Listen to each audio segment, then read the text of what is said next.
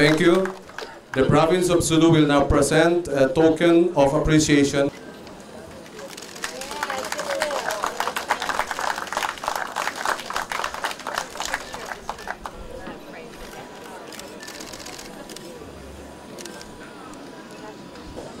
An, an, sandali.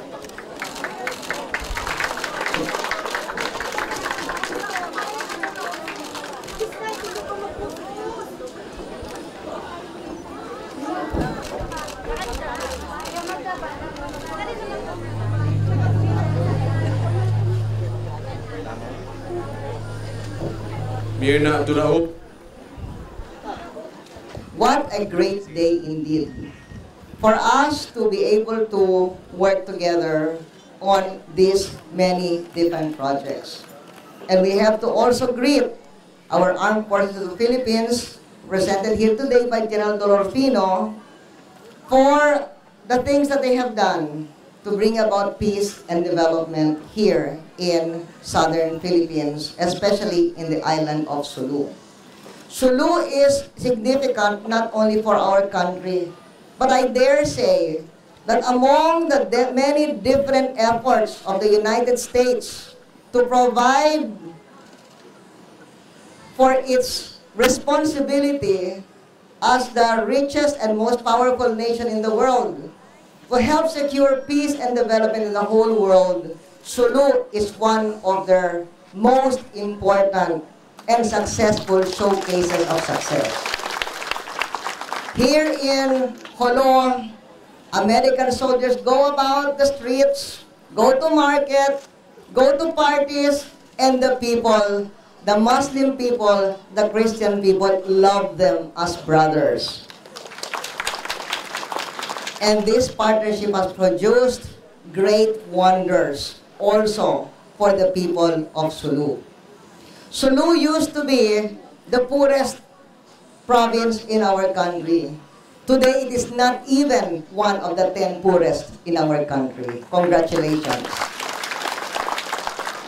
And I am very glad that aside from the airport, we're inaugurating or commemorating other very important milestones.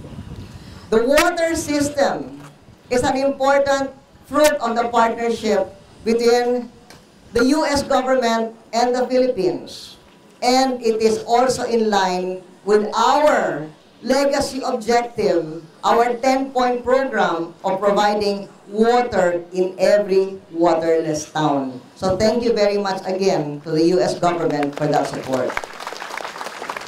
Today also, we uh, distributed, we began to dis- uh, we, we began the program for providing for conditional cash transfers, yung pantawid pamilya, na magbibigay ng allowance sa bawat isa dito sa pinakamahihirap na pamilya ng Sulu, pero ang kondisyon, ang mga anak nyo, papasok sa eskwela, at kayo ay regular na magpapacheck up buong pamilya.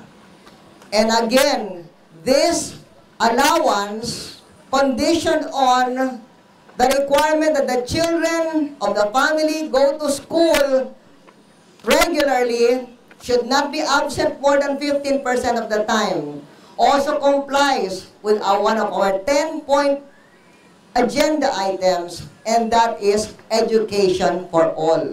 Ngayon, meron na kayong kakayahan, padali yung mga anak ninyo sa eskwelahan. Sana sila ay lahat pumasok sa eskwela. Kahit na yung 6 years old, dapat pumasok na sa grade 1.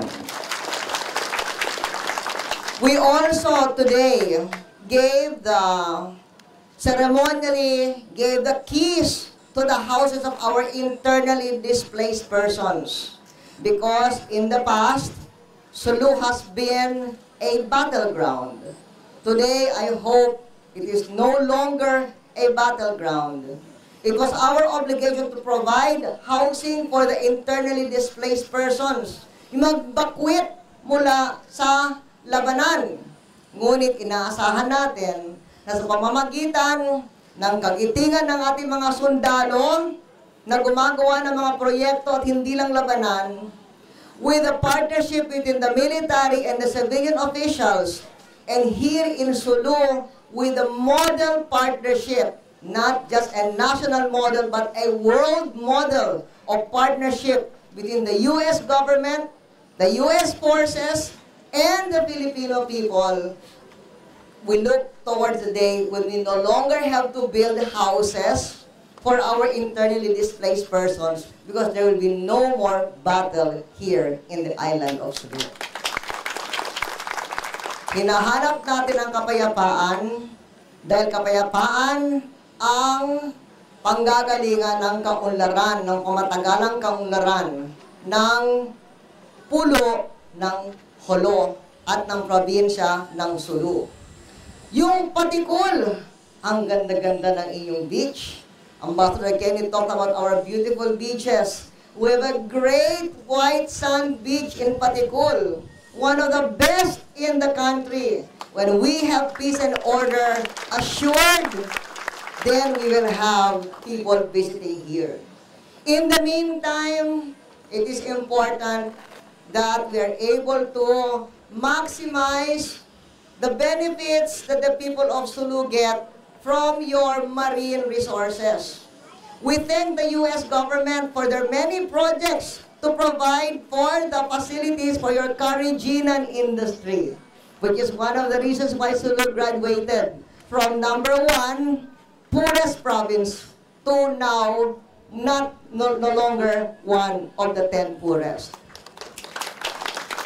At itong airport na ito, we are hoping that soon cargo planes will be able to land here and bring your fisheries resources to the rich markets of Metro Manila and other parts of our country. Yan din ang isang importanteng gusto nating mangyari.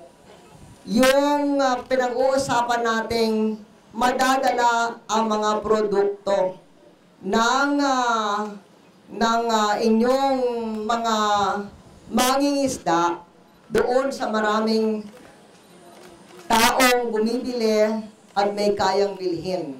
So this is a great day for peace and development of Sulu.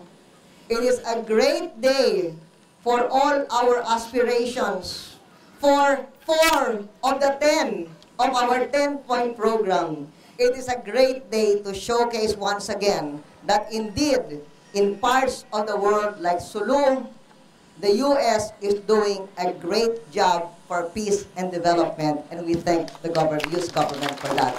Maraming salamat at congratulations sa ating lahat.